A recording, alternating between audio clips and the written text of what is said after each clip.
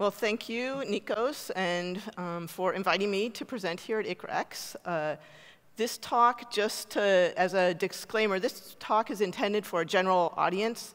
We were hoping that there would be, you know, high school students, et cetera, here. So if you're ICRA attendees, this, you know, might not be the talk for you. But what I wanted to talk to, to you about today is to explain to you a little bit about how we manage to control and plan for the motions of robots. And one of the kind of amazing things about these techniques that we use for doing this is the same techniques that we use to plan for a robot, we can also use to plan for things like digital characters in, a, in an animation or in a film, as well as for proteins. So what I'm going to start off with just giving you some examples of the different types of motion planning problems that we can plan for. And then I'll tell you um, how we do that. So what we have here, first, this, this uh, animation that's moving, this is a problem we call the alpha puzzle problem. And that's one of these tricky benchmark problems that we solve, that we motion planners try to solve. If you are familiar with this, this is a twisted nail problem. And if you know how to solve it, it's really simple. If you know particular that configuration, once you know that, you can separate these tubes. But otherwise, it's hard. And imagine trying to design a computer program that would discover that particular configuration or small set of configurations on its own. So the basic motion planning problem is you're given some movable object, um, in this example here, this rod, and you have some goal, start and goal configurations, and you want to plan how to take it from that start to that goal configuration in a safe way. So what we have now here is some problems, examples where we have problems that have many different articulations. So the baby and the robot model there, they have the same type of skeletal structure, but they're different dimensions. And we fit some motion capture data, data from an actual box or to each of them. That's actually one of the easier problems on this slide here that moving that, uh, folding that soccer ball up into a ball shape, that's actually not very hard either, even though it has many different panels. The robot on the bottom left there, it's, that's a pretty tough problem because the robot needs to move its arm, grasp the binder, pick it up, and now move it safely over where it can drop it into the box.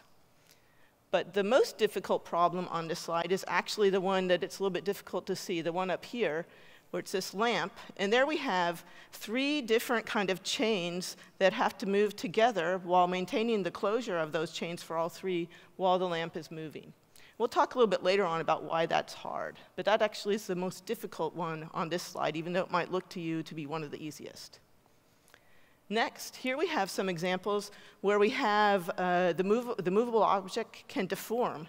So here, the ducky and the teapot are following the same trajectory, and they're trying to avoid collision with those two bulbs, and they're following the same trajectory. Now, in this case, this has, there's essentially an infinite number of different ways that you could deform those objects to avoid the collision, and how you decide to do that would depend on the constraints of your problem. This is a, the same kind of application or need that's needed for during um, surgical planning. If you have like a needle that you need to insert into um, tissue into a body and avoid like some vital organs in order to reach the position where you need to extract tissue or deliver some kind of medicine or therapy.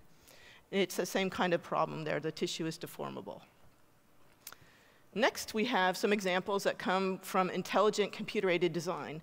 These are both examples that come from General Electric. Um, the, the one that's moving, this was something that a CAD designer sat in his office and he designed this part, but they didn't actually end up using it because they weren't able to determine in their testing capability whether or not it was possible to actually assemble it. So they knew that they would fit together in the assembled configuration, but they didn't know whether it would be possible to take the two parts and insert one into the other. So they went with another design. The other part over here, this is a blow up of this part here. This is part of an engine assembly, and they had a design constraint that this circled part here, and the, it's the green one here, they needed to be able to remove it without, you know, within a certain amount of time. So what the engineer did when they were designing this problem is you can see these pipes, they're bent a little bit. They did that because they thought the way that they would remove that particular part is they thought they would rotate it a bit and pull it out. It turned out, using a motion planner, that there was another trajectory, a removal trajectory that could have been found that didn't require them to have bent those pipes, which was something that you know, would have been more desirable for the design from the beginning. So these are two examples where had they had a motion planner integrated into the CAD system, that they would have been able to come up with better designs. In the first case, they would have been able to know that they could have used that design, and in the second case, they could have, would not have needed to bend those pipes. And you could imagine that you have this planner integrated into the system that would also be very useful for training applications. You could have the mechanic, they might be outfitted with some VR headset where they could integrate the, show them how to move the part with, on, overlaid on the actual physical part of the part. So this would be better than you know, those schematic drawings where they have all those different layers that you see. Okay, so here's, so far all the examples we've seen have had a single movable object. In these cases, we have multiple moving objects. The one that's actually moving down here, there's a shepherd, and it's trying to herd these five little ducks into this corral. Now, those five little ducks, they don't actually know where they're trying to be corralled to. All they know is that they want to stay together and they want to avoid the shepherd. The shepherd is the one who has the knowledge about where he wants to send them. Um, the next ones, up here, this is a disassembly problem where they're first taking apart sub-assemblies and then moving them apart. And up here we have a crowd simulation which was done in collaboration with some colleagues in architecture, where they're interested in studying the exit strategies of individuals from a building. They may leave the building, then they collect to their vehicles in groups, and then they, they move out of the parking lot. But in this case, you have multiple moving agents that need to move, and so we need to do planning for each one of them individually, as well as to avoid or move in coordinated fashion with other groups of agents. So finally, this example is a, quite a little bit different. So far, when we were talking about these um, motions, we were mostly um, interested in having validity that would avoid collision. Um, in the deformable objects, may there be some other constraints. But here, we are typically looking for configurations that meet other things. They, they do need to avoid collision, but there's also, um, for a mo molecular motion, often we're looking for what's called low energy configurations because those would be more stable. Um, up here, the first example we have is a molecule docking. The green here is a drug molecule, and the red, white, and blue one is a protein surface. And the drug molecule needs to fit into a binding site on the surface of the protein. That's essentially kind of, a, imagine a motion planning problem. The drug molecule needs to make its way to the protein surface and fit there. Um, these are two small proteins, and this is an RNA folding, and they need to, proteins as, go to a native, what's known to be their native state, and that's where they're active and, and perform their function. And one of the interesting things about them is they go always to this same particular native state. And so we're interested in studying these folding problems that could either predict where they, what that native state is, or how they may get there. Now these things, it turns out that we can, they're essentially the same kind of planning problem, but what we do is we replace that collision detection validity check with this energy computation. We'll talk a little bit about that more later. But basically, these are all different types of problems which we can solve with the same basic underlying motion planning algorithm. And that's what I would like to share with you today, is a little bit of uh, idea about how those work and how we might be able to apply them to all these different problems. And we do that using this concept called configuration space or C-space. And then I will give you a quick overview of a few different methods to see, so you can see how they work. And depending on how time works out, how we can apply them to a couple different cases. So first off, um, configuration space. This is a space which allows us to solve all those different problems that we saw using the same underlying method. So in this space, my robot, my movable object, maps to a point in this higher dimensional space. And I have what's called a parameter or a degree of freedom for each different aspect of that robot that I can control. And here's some examples along the bottom. So if my robot was just a point in three-dimensional space, that's a case where the workspace and the configuration space, the workspace where the robot actually lives, and the configuration space for this planning are the same. So if I know the x, y, and z coordinates of my point in the workspace, I also know the x, y, the point in configuration space. Now, if I have a rigid body in the workspace, So if you imagine that this point thing here was a rigid body, if I knew just the x, y, and z coordinates of one point of it, there are many different configurations of it. So I need three more values, the angular values, that tell me the orientation of that. So just a rigid object in three space has six degrees of freedom. This one here, um, this is like, imagine that that's in the plane of the screen. If I knew the alpha, beta, and gamma, those three angles, then I would know how that was coordinated, and I could specify the configuration. This last one here is a protein. So in most, in many, it's a common application for modeling proteins that biologists and biochemists use, is they'll use two parameters, the phi psi angles for each amino acid in a protein, that tells essentially how the, that one amino acid is kind of organized. A small protein might have 50 or 60 amino acids in it. So in that case, you would have 100 parameters or 100 dimensional space as a configuration space for this small protein. And that's how we use that. Now that's the configuration space. It doesn't say anything about whether or not those configurations are valid or not. For that, we now need to think about configuration space obstacles. That's where I take a point, the one configuration of my robot, and I evaluate it and decide whether or not it's, it's valid. So if I were the robot, I can only show you valid configurations of myself. But there would be a configuration of me where my arm would be through the podium. That would correspond to a point in the configuration space obstacle corresponding to the podium. And all the configurations where I would be in collision with the podium would correspond to the configuration space obstacle of the podium. And I could be simultaneously in collision with the podium and the stage. Okay, I can't show you that either. But that would correspond to a point that was in simultaneously two configuration space obstacles. So that's basically all we need to know about planning to plan in configuration space. So now we can think about that. So motion planning in the workspace versus motion planning in configuration space. So in this case here, my robot is a triangle, and I want to move from the lower left of the workspace to up to the upper, no, lower right up to the upper left. And here's the corresponding version in configuration space. It's a three-dimensional configuration space instead of two dimensions because I need the xy coordinate of one point of my triangle and then the orientation. And essentially, you can imagine there's like one slice in that configuration space for each different orientation of the triangle. The, the kind of unpleasant part of this modeling is that I had these really nice, simple, rectangular workspace obstacles, and they now became these complicated objects in configuration space.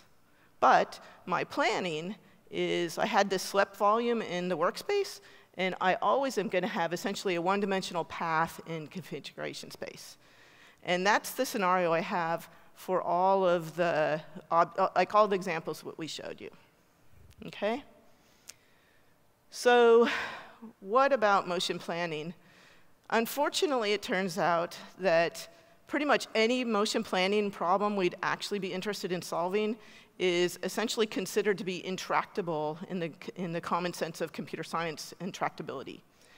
The very best algorithm we have that's guaranteed to solve that problem always was an algorithm that was determined by John Canny in his PhD work back in 1986. And we can really only use it practically in cases up to four or five dimensions. So we can't even use it to plan in the general case for a rigid body in, in three space. But we still have to solve these problems, right? So what do we do? Is we turn to randomized or probabilistic methods when we want to solve these types of problems. And what we do is we trade off our guarantee that we're always going to have an exa uh, the exact answer for a method that works pretty well in most of the cases that we need. And there are essentially kind of two flavors of these types of methods that are in common use today. Um, and they depend on the scenario in which you're working.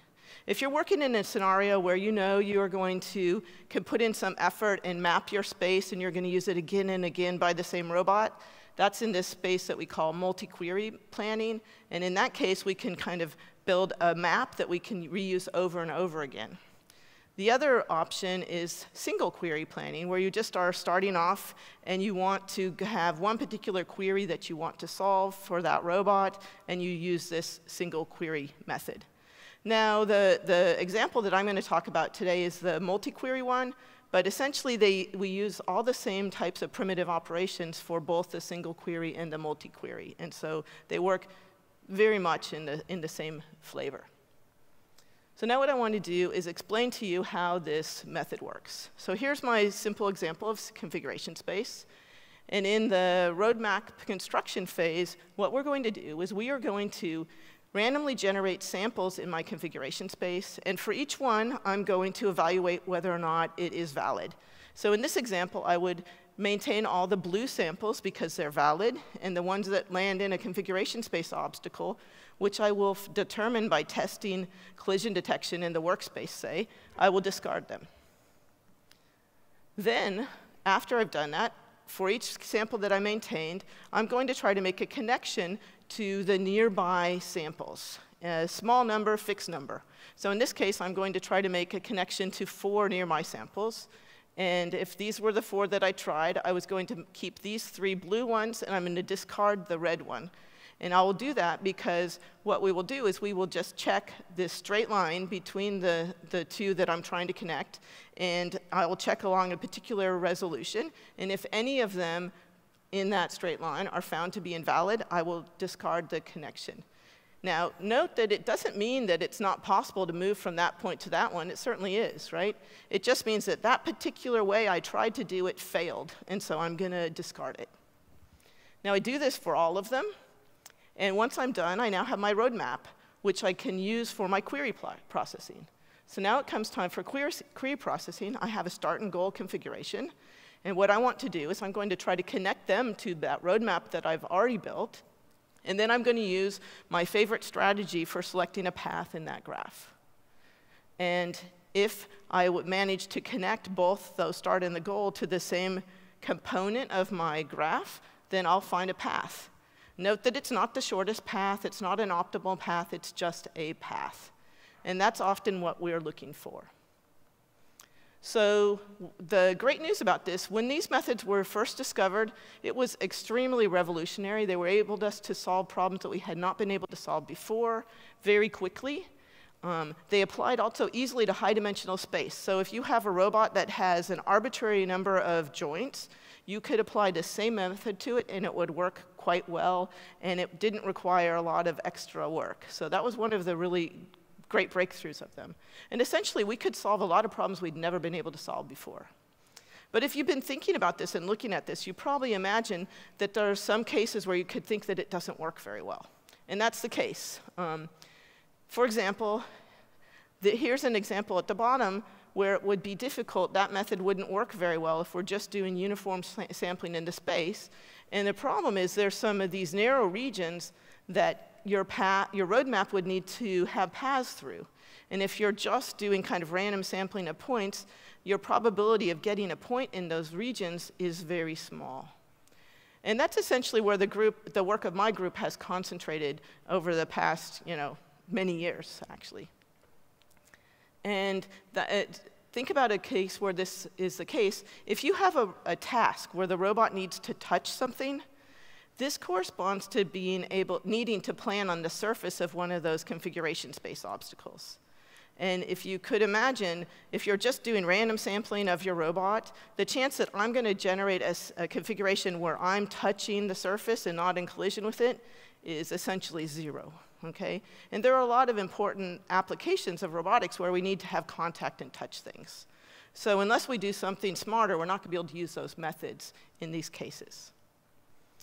So it turns out um, there is kind of a nice way to do this, and I wanted to talk to you a little bit about that. So the kind of unfortunate thing, if we just apply these methods as you know, they originally thought about, that most of the samples aren't going to be where we need them. If I'm doing random sampling in this auditorium, I'll get samples up here on the stage, I'll get them in the aisles, but I'm not going to get them between the, the rows there because most of those will come up with collision. So I won't be able to use those. What we really would like is to have the samples that are near the surfaces. That's where the planning is difficult, right? So how do we do that? Well, we, unfortunately, we can't afford to construct those configuration space obstacles. That's part of our complexity. They're too complex for us to represent, so we can't afford to collect them, con uh, construct them. So we want to sample near them without having an explicit construction or representation of them. But we do have something that we haven't used. We have the description of our workspace. We do have the description of the chairs here in the auditorium and the stage and all that. So can we use that? Well, it turns out it's really pretty easy to do that. This was the very first work that my group did on this problem. So imagine you have a configuration space obstacle. Uh, uh, I, am the robot, the configuration space obstacle is a podium. We generate a point that's in collision. Generate a configuration where I'm in collision with the podium. Now we select a random direction in configuration space, and we look for a free configuration in that direction. So now I'm the free configuration, say, in the direction. And once you're in this situation, we're home free. We can now do a bisection search. I generate the point, the midpoint between these two, and it's in collision, so now I'm going to continue now between points two and three. I'll do it again. So point four, now it's free, so I'm going to continue again between points three and four. Do it again. Point five, it's free. Now I'm going to stop whenever I've decided I'm close enough, and that's something you get to decide as the one who designs the problem. So in this case, I might stop here. So that's essentially how we can generate points on the surface without having an explicit representation of the surface.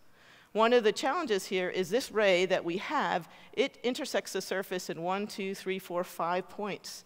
I have no idea how many points it has intersected the surface. I have no idea which one I found. I just know I found one of them. And there is at least one if I have one point that's in collision and one that's not. But I can't say anything further, really. We've typically used heuristics to try to cover the configuration space obstacle surface nicely. That was one of the challenges that really bugged me for, I would say, 15 years. Um, how can we do something that will tell us how to sample that surface nicely? Well, it turns out it's actually pretty easy. I want to talk about that. So how can we generate samples uniformly on a surface without knowing where it is? Okay. It turns out it's not hard. What we do here, instead of sampling points uniformly, what we do is we have fixed-sized line segments that we sample uniformly. So essentially you're throwing, imagine you have a whole bunch of like sticks that are all the same line, space, you throw them into your space, and now for each one of those, we're gonna test all the, find all the points where it intersects the surface. It turns out we can prove that that will actually um, uniformly cover the surface of the, our surfaces, which is what we we're looking for. Unfortunately, it's not very efficient. I wouldn't recommend you use it because if the stick is small, like close to a point, it basically does the same as our points. If the stick is very long, well, then it takes longer to check it because you have to check every single point along the stick. But it, it works nicely, and at least you could use this in the areas where if you really wanted to cover the surface nicely.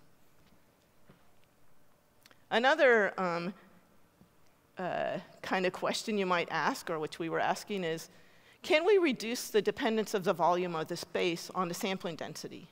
So this is the problem, you know, the smaller the volume of that narrow passage, the more samples you need to be sure that you actually got a point in it. So it turns out we can do this. Here's the problem, the kind of the, the thing that was bugging me for a very long time. There's two problems here. One on the left, there is actually a small narrow passage, and it's possible to move from the bottom to the top. The one on the right, it's totally blocked. It's not possible to move between the bottom and the top. How can we determine the difference between these two methods with this sampling strategy? Well, with that original method that we have, we really can't. We don't know. Now, what if you have another idea. What if instead of just mapping the free space, the white space there, we also map it, the invalid space? So in that case, we have these two different pictures here, right? Um, and there is a difference. In particular, if you look at the maps of the block space, one of them has two different connected components, and one of them has just one. And if we have the two components here, at some point I might try to connect points that are in both of them, and I'll fail. When I fail, how did I know I failed? Because I found a point that was free in between them. Well, that's actually one of those tricky points that I wanted to find. That's one of those really special important points that's in this narrow region. So I can actually keep that point and put it into the other space. So that ends up actually kind of solving that problem for us. Um, I don't want to go too much into this result here, but the main thing is I, to show you is I have three different passages. This passage three has a very narrow region, and passage one is pretty wide. And let's look at these red samples. This is the number of samples out of 1,000, and here's 450 that I ended up in the passage. And you see, yes, it went down when I got to that narrower region, but it's still an awful lot. It's about a third of my samples end up in that narrow region using that method. And so what this did is it's kind of threw out some of the standard theory we have for these these sampling-based methods that said the narrower the region, the more samples you need. In fact, in this case, it's not true. The narrower the region, it's actually not any harder. It's still pretty easy to solve using this strategy. So we kind of need to rethink some of our traditional theory using this method. This is something we're still, you know, trying to understand how best to use this. So now I just have a couple minutes left, so I think I'm just going to talk to you about the first one. Um, and this one is, so far I've really only been talking about fully automatic methods, things that we can do without using human insight. Now, when you look at this problem, all of us look at this problem, we all know roughly what the solution path will look like. You know that it's going to be something like this, right? So the idea here is, can I use the human insight using something called a haptic device? This is a virtual reality device that gives you force feedback, and sketch a solution path and maybe it would be something similar to this that's pretty close to the solution, but it's not necessarily required to be. Maybe it's too difficult for me to do that as, as the human, but I can just kind of roughly sketch it. And then you ask the planner to fix this. Now you've actually made the problem easier for the planner because you've identified a region of the space that the planner needs to search. And you've told it the interesting area. And so now you can make this problem not be very difficult. And here's some example of what we were able to do using this strategy. On the bottom here, we have this flange problem. There's three different versions of it. The one is the original version. 0.95 and 0.85 means we shrunk that inner tube to be 95% or 85% of its original size. And in the 85% version of the size, so it was quite easy, um, we were able to solve it with our fully automatic method. And then we had this haptic method it took just a few seconds. That's the work of the planner. The planner attached it and then moved it out. The 0.95 version of the problem, I don't show the time that the fully automatic method would have taken. It would have, it would have solved it eventually, but it would have taken a long time. But this is the haptic one, the user collected path we gave it. The yellow one is the one I want to point out to you. This one is interesting. We took the solution path from the 0.85 version of the problem and use that as input to the 0.95 version of the problem. And that was faster. And the reason for that is because that path was closer, you know, it shared important characteristics of the solution path for the 0.95. And that's actually how we solved the original version of the problem. We took the solution path for the 0.95 version and passed it off to that. Now, this example doesn't show that I needed humans, unfortunately, right? Because I could have taken the fully automatic one, original one, and passed that, kept improving that one. But you know, I think that there's, you know, and there are some problems like that alpha puzzle I showed you originally. We can't use it to solve this method because we don't really know what it's like. But I think there's important issues here. But the bottom line is if we can kind of reduce the space that the planner needs to, to search, it'll work a lot better. Okay, so I think I need to finish now. I won't tell you about the protein folding, but the, that was an exciting uh, application. What I hope you're kind of left with is that there's an amazing diversity of problems. Anything that deals with a movable object, we can actually use these methods on. What you need to do is kind of understand how to define a configuration of your movable object and how to do this validity check for it.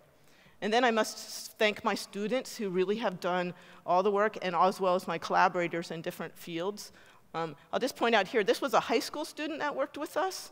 Um, he worked with us like three or four years ago. He won uh, national science competition, the Siemens competition in the US, and he got a $100,000 scholarship for college based on the work that he did with us. And he's the most famous version, uh, member of my group. He got, this is him in Times Square, and that's himself on the Times Square reader board. So he's standing there and has a picture. So I have not yet reached that um, amount of fame, but it's possible. So um, thank you very much. If you have any questions, I'd be happy to take them.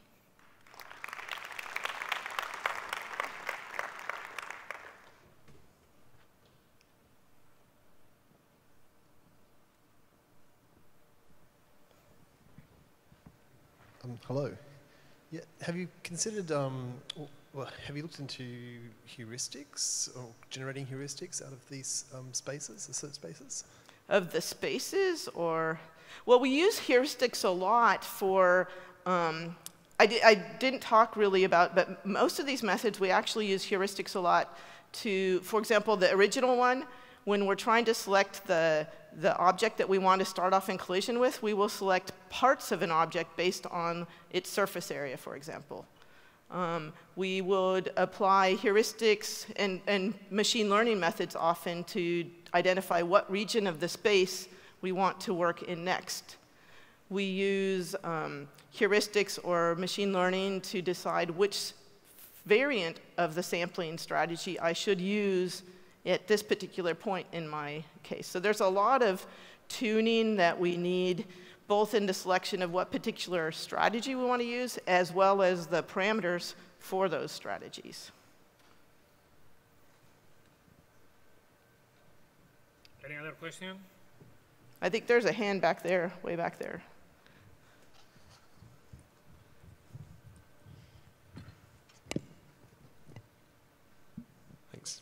Um, so in the triangle navigating the blocks example you had, um, how do you represent the, let, us assume the triangle can't strafe sideways, it has to always travel in the direction it's pointing. How do you um, construct in the C space the, um, the restrictions in state transition? So it's not allowed to strafe, it's not allowed to do any other kind of strange movements.